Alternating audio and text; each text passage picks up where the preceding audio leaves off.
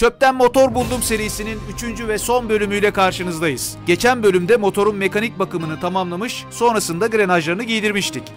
Bunu yaparken yaşadığımız eksik vida sorunu Kubi amcayı yormuştu ama yine de tüm eksiklikleri tamamlamıştık. Biz bu motoru bulmadan sahibi Yusuf bir otomobil boyacısına grenajlarını boyatmıştı. Hayatımızda gördüğümüz en kötü boya işçiliğiydi. Ama bütçemiz olmadığı için tekrar boyatamadık maalesef. Hatta güneşten yanıp kavrulmuş ön camı bile bu sebeple kaplatmak zorunda kalmıştım. Bugün motoru sahibine teslim edeceğiz ve ortaya ne çıktı göreceğiz. Like'a basın, başlayalım.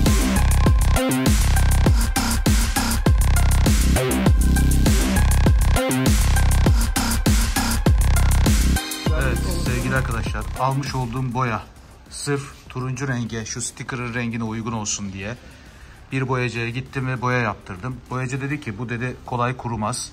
Ee, yani bir gün sürer kuruması dedi ama bir günden daha fazla sürdü.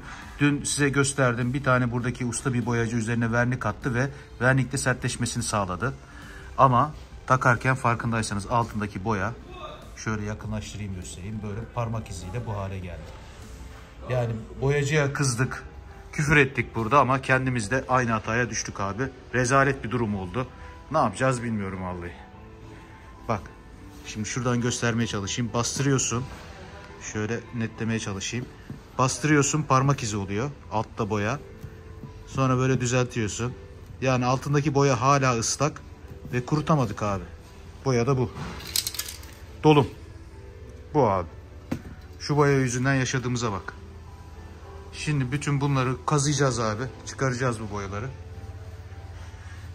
Adam gibi boya boyayacağız abi. Nasıl bir boyaymış arkadaş bu ya. 3 gündür kurumayan bir boya. Vallahi 3 gündür kuyumun kurumuyor ya. Vernik var yine. Vernik olmasa daha çabuk. Tabii. Daha çabuk vernik yok olmasa olacak. demek ki hiç donmayacak abi. Evet. Bak bak vernik ayrıldı şimdi. Şimdi altı hemen çıkıyor. Bak o sulu boya ya. Vallahi billahi ya. Nasıl kazık yedik böyle ya. Adam zaten belliydi abi. Ben boya yapan adama bunun turuncu olduğunu ikna etmek için uğraştım biliyor musun abi? Kırmızı deyip durdu herif. Renk körlüğü de varmış onda. da. Boyacı bir de ya. Vallahi boya kokusundan sarhoş oldum. Sellozik tinelle bütün boyadığımız bu parçaları temizledik. Zaten kaptan da görünüyor boya kabı gibi oldu. Şu boya bizi mahvetti abi. Yani bu boyayı ben bir e, boyacıda yaptırdım. Bu Maslak Oto Sanayi'de kimya laboratuvarları var. Dedi ki hızlı kurumaz ama dedi bunu yapayım sana dedi. Bir boyacının bunu bili- biliyor olması lazım. Bütün işi baştan tekrar başlamamıza sebep oldu. Hepsini temizledik ve usta boyacımız geldi. Abi ne yapacağız? Nasıl bir çözüm bulacağız? Bugün teslim etmemiz lazımdı motoru. Abi renk tonu ne? Bu mu renk Evet. tonu? Renk tonunu götüreceksin abi. Buna baskat boya yapacak. Bas kalıp mı? Baskat, baskat. Baskat. Evet, baskat boya yapacak. Üzerine de benzerini katacak. Hem hızlı kuracak hem... Biz sprey yaptıracağız yine değil mi? Sprey yaptıralım abi şey. Yok yok, ben boyarım abi. Ha, Bırak sen boyayı bana olur. Tamam ne kadar kaç gram yaptıralım? Bu ikisi mi? Dördü. Bunlar var değil mi Dördü. sadece? Evet. Şu küçük dört parça. Bir 150 gram yaptır abi. Tamam. 150 gram. Evet. Biz Tamam. Peki gidelim. kaç saatte Bu- bu- kuruturuz abi bunu biz? Ben sana boyayacağım, vereceğim. Aha. Bir de ilete vereceğim sana. Yarım saatte vereceğim sana taş gibi. Ciddi misin? Evet. Oo. Ama uçarak, hızlı. Tamam. Bugün Cumartesi kapatmak Tamam istiyorum. alalım Tamam. gidelim Tamam. Selçuk. Hadi hadi gidelim abi. Evet, boyacımızın istediği boyayı yaptırdım. Başka bir boyacıya gittim, orada yaptırdım. Durumu da anlattım. Adam sebebini anlattı. Ya bozuk boyadır dedi ya da bu boyayı yapan adam bu işten anlamıyordur dedi.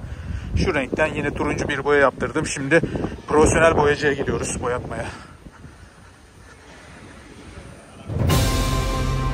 Yaptırdığım hazır boyanın donmaması sebebiyle bugün sahibine teslim edeceğimiz motorun teslimi ertesi güne kalacağı için başta moralim çok bozulmuştu. Çünkü bugün 5. gün. Allah'tan hemen yanında bulunan profesyonel kaporta boyacısı Fahri abi imdadımıza yetişti ve dört parçaya hızlıca boya atıp kurumasını sağladı. İşi bilen birinin attığı bu destek keyfimin tekrar yerine gelmesini sağladı. Ben de o sırada bir türlü bulamadığımız hava filtresi için Perpa'ya gittim. Kendi servisinde bile bulunmayan hava filtresi Scooter Servis isminde Piaggio parçaları satan bir yerde varmış. Paralel ithalatla bulunmayan Piaggio parçalarını artık nerede bulabileceğimi biliyorum. Bu sayede öğrenmiş oldum.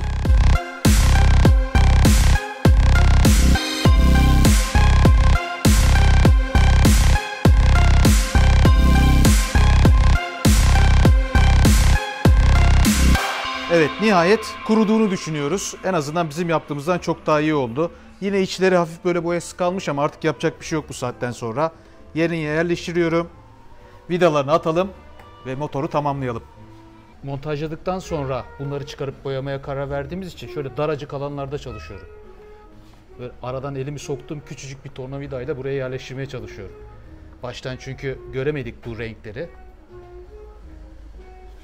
Evet burası tamam. Şu vidayı da attım mı burası da tamam olacak. Bu da tamam. Buraya atmışsın. Tamam abi. Yanlar tamam. Çok şükür. Yanlar harika. Şimdi asıl bu motora damgamızı vuralım diye uğraştığımız, illaki bizim bir izimiz olsun diye uğraştığımız şunları da buraya eklediğimiz zaman motor artık bir şey haline gelecek. Bitmiş hale gelecek inşallah abi. Ama bunlar güzel gösterecek abi ha. Göreceğiz. Merak ediyorum. Bakalım. Bunlar sende abi buyur. Yalnız şu ön çamurluğu Yusuf boyatmayı unutmuş abi. Biz de boyatmadık. Çünkü hani daha fazla e, bütçe harcamayalım. Uygun fiyata bu motoru yürür hale getirelim de derdimiz. Yoksa bunu da boyatsak aslında iyiydi ama benim aslında fikrim şu. Boyatmama sebeplerinden bir tanesi de yapılan boyayı sevmememdi. Yani şu boyanın e, ben bu motoru bana tamamen teslim etmiş olsaydı Yusuf ben bu boyayı değiştirirdim. Yeniden boyatırdım. Çünkü çok çok kötü boyamış boyayan kişi kimse. Araba boyacısı. Zaten şuralarda böyle çizikleri şeyleri falan görüyorsunuz. Hatta şurayı göstereyim şöyle bakın. Ya üstünü boyamış demirin altı yok abi. Altı boyasız. Bak şuradan göstereyim. Bak görüyor musun? Burada boya yok. Ve pütürlü pütürlü böyle.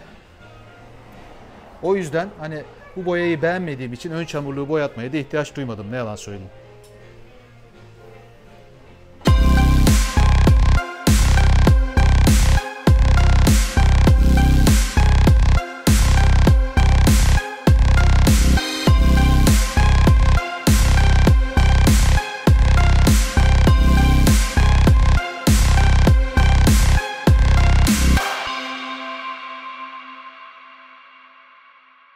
Evet, 5 günlük mücadelenin sonunda motoru getirdiğimiz son hali bu. Tabii ki değil. İtaljet var burada. Zaten ilk açılışta, ilk daha buraya geldiğimizde göstermiştim. İtaljet Dragster 200 bizim yenilemeye çalıştığımız Scarabeo 200 ile aynı bloğu kullanıyor ama Euro 5 motor. Şimdi gelin yenilediğimiz motoru göstereyim size. Buyurun. Şöyle yandan göster abi. Aslında bu motoru yenileme derken böyle alıp da büyük bir revizyona sokmadık. Var olan bütün parçalarını bir araya getirirken aslında bakımını yaptık. Yani bu net olarak bir yenileme bölümü olmadı. E, fakat motor işlevsel değildi. Yani yürümüyordu ve aynı zamanda birçok da problemi vardı. Bütün problemlerin üzerinden geçtik. İşleyen kullanılabilir hale getirdik motoru. Neler yaptık? Tabii ki siz de izlediniz ama kısaca özet geçeyim. Arka lastikle ilgili problem vardı. Tekerin dönmemesiyle ilgili. Şeyleri, burçları yanlış takılmıştı. Onları düzelttik. Fren hidroliklerini tamamen yeniledik ama fren pistonları maalesef kaliper pistonları çalışmıyordu. Onlara Kubi amcamız filtre dediği bir uygulama yaptı ve bütün frenler artık çalışıyor. Debriyajına ve bagalarına baktık. Onlar sağlamdı. Değiştirme ihtiyacı duymadık. Bunun yanında ön camı orijinali 4000 lira, 5000 lira gibi fiyat istiyorlardı. Geçici olarak ben şöyle bir cam koydum ama kullanışa etki etmiyor. Yani siyah olduğu için önü görememezlik gibi bir durum söz konusu değil. E, spor olmasını, jigs olmasını sağladı. Bunun yanında bütün e, grenajları bütünleştirirken, e, montajını yaparken tırnaklarına özellikle dikkat ettik ve hepsinin tam olarak birbiriyle öpüşmesini sağladık. Bunun yanında da mekanik olarak yürüründe herhangi bir problem var mı? Süspansiyonlarında veya ne bileyim gaz hissiyatında, motor karbüratör sisteminde problem var mı? Bunlar kontrol edildi. Karbüratör ayarları yapıldı. Bunlar gibi revize işlemleri yaptık ama 5 gün sürdü. Çünkü kolay işler değildi. Motor tamamen dağınık gelmişti. Bunları bir araya toplayıp da birbiriyle e, birlikte çalışmasını sağlamak gerçekten zor bir süreçti. Kubilay amcamıza teşekkür ediyorum. Bunun yanında bu skuturda Yusuf almadan önce zaten bize teslim etmeden önce zaten granajlarını boyatmıştı ve boya kalitesi gerçekten çok kötü. Bir otomobil boyacısının bence utanç duyması gereken bir boya kalitesi var. Ben eğer elimde bütçe olsaydı tekrar yeniden e, boyatırdım ve aynı zamanda şu seleyi de güzel bir deri kaplamayla rengini eşdeğer bir şekilde kaplatırdım diye düşünüyorum. Ama bütçemiz olmadığı için elimizdeki imkanlarla bu kadar yapabildik. Yusuf şuraları şuradaki şu küçük böyle parçaları turuncuya boyatmıştı. Oradan esinlenerek biz de damgamızı vuralım Gemmar Garaj ve Motopixel TV olarak diye düşünerek arkaya şöyle turuncu april ayasını yap, yaptırdık. Özel bir kesimle yaptırdık. Hemen öne geçtiğimizde de öndeki şu paslanmış olan süspansiyon kapağını aynı renge boyatarak aslında bir bütünlük sağlamış olduk ve bu sayede Motopixel ve Gemmar Garaj damgasında e, bu motora vurmuş olduk. Sonuç itibariyle bu scooter artık kullanılabilir. Günlük işlerde kullanılabilir. Aktif olarak e, problem çıkarmadan sürülebilir bir motor haline geldi. Ama sahibi acaba ne düşünecek? Ben de çok merak ediyorum. O yüzden sahibini yanıma çağırayım. Bakalım neler düşünecek. Hoş geldin Hoş kardeşim. buldum Selçuk. Nasılsın iyi misin? Sağ ol. Yüzün Sen gülüyor nasılsın? gibi görüyorum ama Yüzü- Yüzüm gülüyor gerçekten motoru gördüğümde çok mutlu oldum. Ee, yani görüntüsü tamamen değişmiş. Çok yakışıklı olmuş. ciddi misin? Motor ama biz hani olmuş. şey yapmadık. Boya moya Boya yapmaz ama bil, yani önceki ay ile şimdiki ay arasında çok büyük fark var. Ee, yani bir test kontrolü yaptım. Ga- gayet motor gidiyor. Ee, 2500 kilometrede almıştım ben bunu biliyorsun. Ee, kayışı falan da iyi durumdaymış. Kubilay abi aynen, dedi. aynen. Yani sürüşü falan da bir bakımdan sonra çok değişmiş. Yani çok mutluyum. Yüzüm gülüyor farkındaysan. Sen mutlu olduysan ben de çok mutlu oldum. Evet. Keşke hani biraz daha bütçemiz olsa, paramız Evet, olsa da daha fazla bir şeyler yapabilseydik ama şimdilik bu kadar. Başka motorlarına yaparız İnşallah. artık. Sevinmene çok sevindim. Ol, çok Hayırlı mutlu olsun. Çok teşekkür ederim. O zaman madem bu damgamızı vurduk turuncularla bir de stickerlarımızı Tabii ekleyelim ki, motora. Cama yapıştırayım hem şu çamurluğa yapıştırayım. Şöyle önce Gemmar Garaj. Kubilay abi şöyle yapıştırıyorum. Güzel yakıştı ha. Gemmar Garaj'ın elinden çıkma ve Motopixel TV damgalı Aprilia Scarabeo 200 Vatana millete hayırlı olsun. Trafik içerisinde görürseniz bir kornaya basarsınız. Siz nasıl buldunuz? Yorumlarınızı aşağıda bekliyorum. Tekrar görüşmek üzere. Hoşçakalın. Şimdi motor e, genel olarak iyiydi zaten durumu. Yani mekanik olarak çok kilometre yapmış bir motor değil. E, onun için e, yaptıklarımıza cevap verdi. E, sadece yıpranması biraz zamana yenik düşmüş. Biraz da açıkta kalmış herhalde. İşte frenlerle ilgili sıkıntıları vardı. E, karbüratörle ilgili e, değişik değişik ayarlar denemişler falan filan. Ama yine de karbüratörü açmadan e, canlandırabildik makineyi. E, kayış sisteminde filan de zaten kilometreyle ilgili bir sıkıntısı yoktu. Düşük kilometre. E, yani genel olarak motor ben çok beğendim. Testini de yaptık. Çok beğendim. Birazcık frenlerin alışması lazım. Frenlere alıştıktan sonra e, bence oldukça sahibi de umarım beğenerek kullanılır. Yani yıllarca hizmet edebilecek bir hale geldi. Neredeyse 5 gün oldu galiba. 5 gündür bununla uğraşıyorum. Her işi bıraktık. E, bizim diğer işlerimiz hepsi kaldı. Sağ ol. E, bir şey demek istemiyorum. Şimdi burada demeyeyim. Onu sonra ben sana e, diyeceğim. Öyle diyelim. Eyvallah abi. Çok teşekkür ederiz abi. Rica ederim. Rica ederim. Güle güle kullansın arkadaş.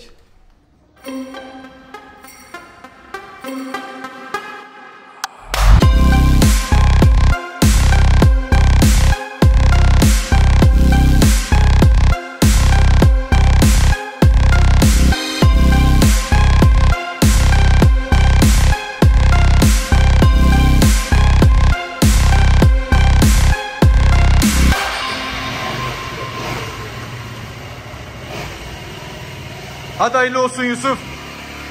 Dikkatli git, yavaş git. Evet, bir motoru daha gönderdik. Teşekkürler Gemmar Garaj. Teşekkürler Kubilay amca.